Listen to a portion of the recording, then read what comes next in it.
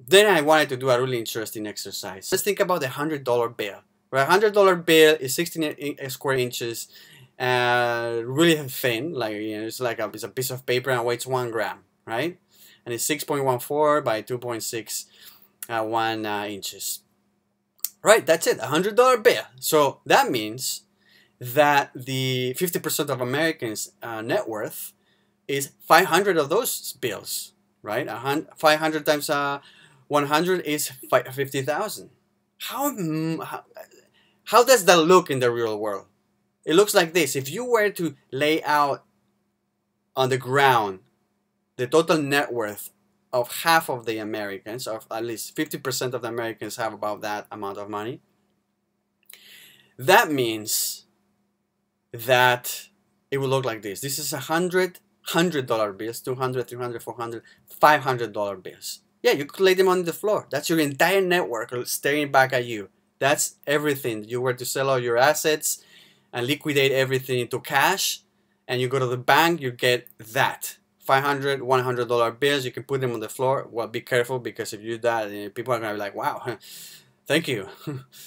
um, but this is just an imaginary exercise. That pile on the ground, that pile that uh, it would be 5 feet by 11 feet. About the surface area of smart car, right? Yeah, there you go. That's 50% of Americans, more or less. That's all they have, you know? Let's compare that to Bill. Let's compare that to Bill, right? And that's his, that's his in, that's in meters. 80 billion. What does 80 billion $100 bills look like in $100 bills? That's 800 million $100 bills. So if you were to lay out 800 billion $100 bills on that rectangle, how big that rectangle would that be? It would be 11, 1100 feet by 60 to 300 feet, like almost a kilometer by two kilometers.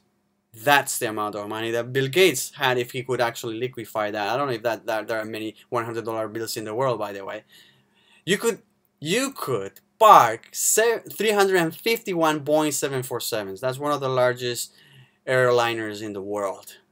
351. That's a big parking lot. So big that it would actually be half of the size of Central Park in Manhattan.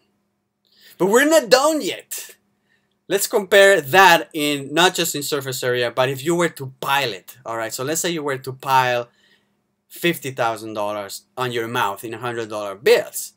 Well, you get a pile that is about, if considering that it's 0.0043 inches thick per, per bill, uh, the, uh, you have a, about one pound of bills on your mouth. That's your entire net worth. You could actually chew on it and it would be about two inches uh, wide. So it's chewable. It's almost like a big burger. That's your entire net worth. You can take that anywhere, no problem.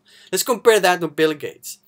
All right, so 800 million $100 bills. If, if, if, if Bill, uh, no pun intended, if Bill wanted to take all his bills out on a bank, uh, they would be about 800 tons. 800 tons. And if he were to stack them up I don't know why he would do that, right? But let's say he was like, I want to show the whole world how my stack compares to everybody. I have the longest, biggest stack in the in, in the human race. It would be very skinny and very long, and it would be, you know, like some planes fly this high, right? Uh, you know, thirty two hundred feet,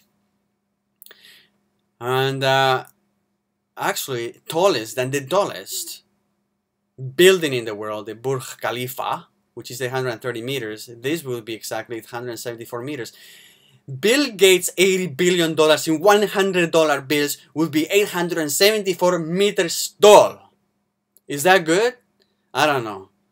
Uh, we'll see next. Actually, I don't think it's that good because to make you feel better about this whole idea, and actually there is a corollary to this story, um, is that um, let's say that you had your whole wealth there, 50k, um, providing that that was, but let's say let's say that all you own, like a lot of Americans, is is, is 50k.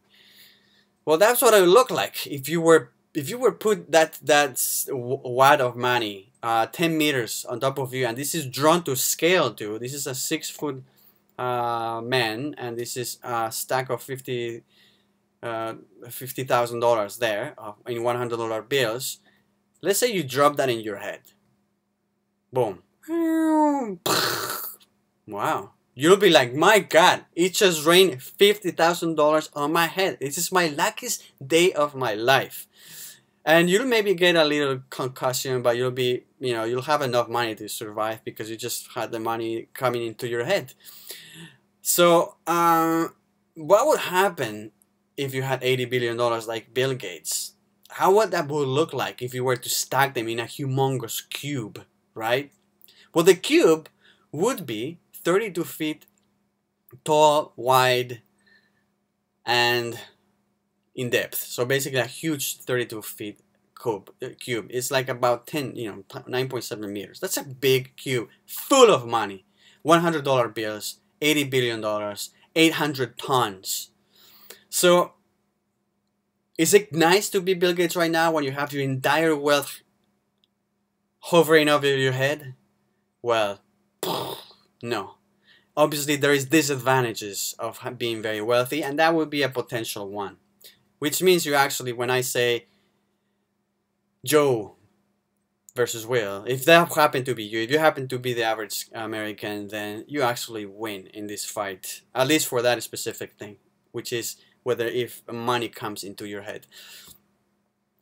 All right, so let's go back real quickly, and we're almost done because this is the this is the the part that hopefully makes sense about everything. Is that a hundred dollar bill? Doesn't seem like a lot, but we live today in the first time in history with with just one hundred dollars, you could actually start a complete profitable business because the the amount of money that takes to kickstart a business uh, nowadays is literally with a hundred dollars you can do it. If you don't believe me there's actually a book that is called the hundred dollar startup. Reinvent the way you make a living. Do what you love and create a new feature by chris uh, i don't know really how you say that. Chris.